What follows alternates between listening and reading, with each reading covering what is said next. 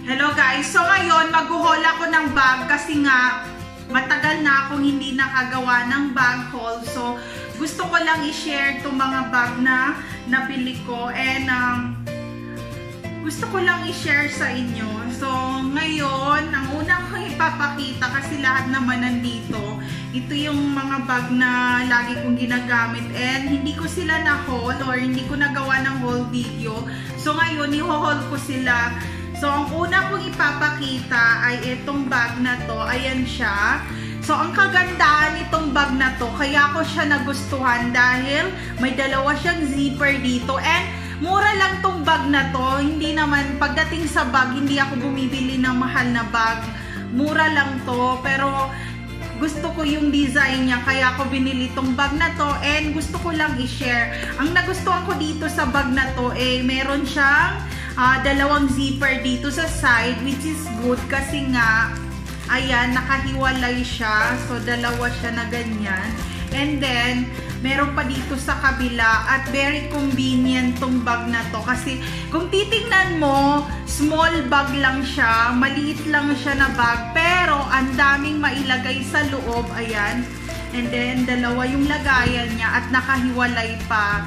Kaya gustong gusto ko talaga ang bag na to. Meron na akong dating bag na nabili na ganito.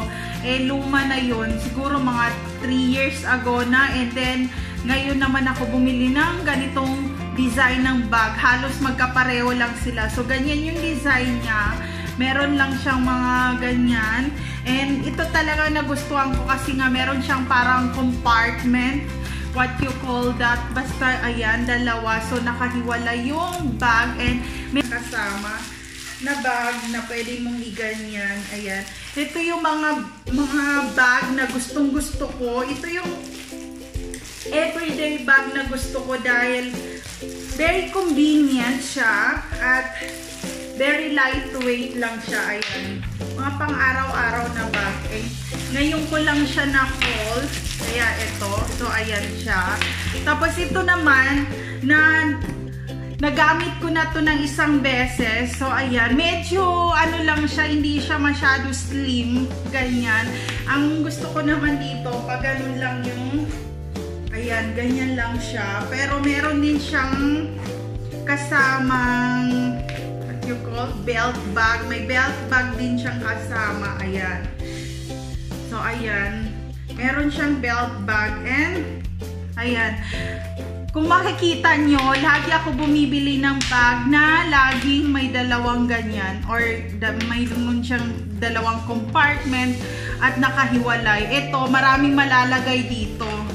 Dito sa bag na to. Ayan. Pero, mas maganda siya dalhin kung ganyan lang. Pag ganyan lang yung bag na to. Ayan, ganyan. Kasi, pag uh, meron siyang ganyan, pag ganyan ganyan. Hindi siya masyadong maganda tingnan. Pag ganun lang talaga yung ganyan lang. O yan, ganyan lang siya. Tapos, marami siyang nalalagay sa loob. Ayan. Ang dami. Ayan. Kung makikita nyo, pagdating sa bag, mahilig ako sa may dalawang zipper na ganyan. So, itong part na to, hindi ko na ipapakita kasi ito yung uh, ginagamit ko ngayon na bag kasi malaki siya. Ayan, malaki siya and may zipper siya dito. May, sec may secret packet siya dito sa likod. Ayan, yung secret packet niya. And ang dami ring mailagay sa bag na to.